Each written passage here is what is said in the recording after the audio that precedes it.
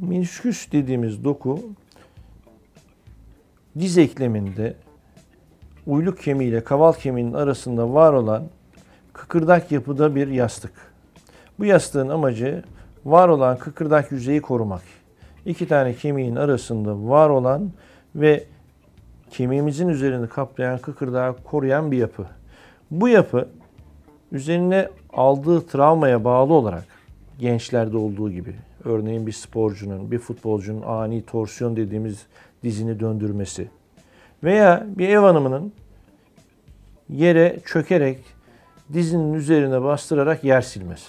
Veya yaşlı bir insanda bozulan menisküs kıvamına bağlı olarak ufacık bir travmada, ani bir dönmede, merdiven inerken, bir yerden zıplarken oluşabilen menisküsün fragil yapısından yani zedelenebilir yapısından kaynaklanan yırtılmalar oluşabilir.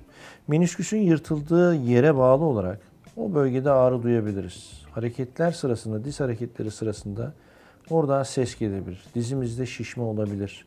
Bazı hareketlerimizde kısıtlanma olabilir. Dizimizde kilitlenme olabilir. Bu şikayetlerle hasta bize gelmişse eğer o zaman muayeneden sonra eğer şüphe duyuyorsak hastadan bir röntgen grafisi veya bir MR isteyerek kesin tanıyı koyup ona göre de tedavimizi şekillendiririz.